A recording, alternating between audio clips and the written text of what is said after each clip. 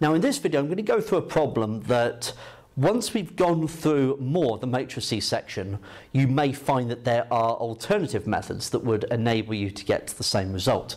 Uh, but what we're going to do at this stage is just use our current knowledge to see if we can solve this problem.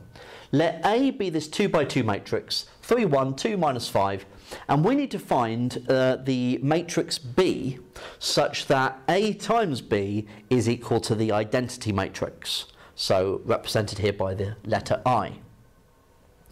So our initial reaction to this should be, well, I can write down a general uh, matrix for B. We could write it down as A, B, C, D. So I know that when I multiply these two together, I need to get the identity matrix 1001. Okay? So what we're currently looking at is a situation we're going to have to multiply out these two matrices and see if we can solve the resulting equations that we find. So if we do 3, 1 times the AC, we'll get 3A plus C. 3 1 times the BD, so 3B plus D. 2 minus 5 times the AC, so 2A minus 5C. And then 2A, sorry, 2 minus 5 times the BD, so 2B minus 5D. Okay, and that's going to be equal to this 1001. So what we know then is that if these two matrices are to be the same, then the 3a plus c is going to have to be 1. And the 2a minus 5c is going to have to be 0. The 3b plus d has got to be 0. And the 2b minus 5d has got to be 1. So this gives me two sets of simultaneous equations where I can work out the values of A and C from these two and B and D from these two.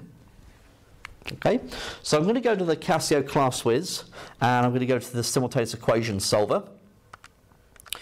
Uh, so 3, 1, 1, so reading off the coefficients, 3, 1, 1, and then 2, negative 5, 0 and we get 5 seventeenths, that's A, and C is 2 seventeenths. So if we go here again, so 3, 1, 0, and 2 minus 5, 1, and we get 1 17th for B, and minus 3 seventeenths for D.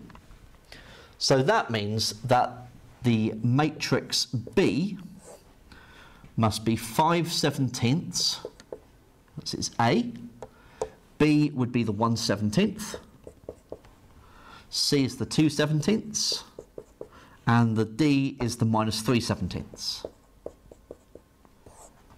Now you can factor the 17th out if you like, the 1 over 17, and then we've got 5, 1, 2, negative 3. Okay? And so that is how uh, we can find the required matrix B using the current knowledge that we have.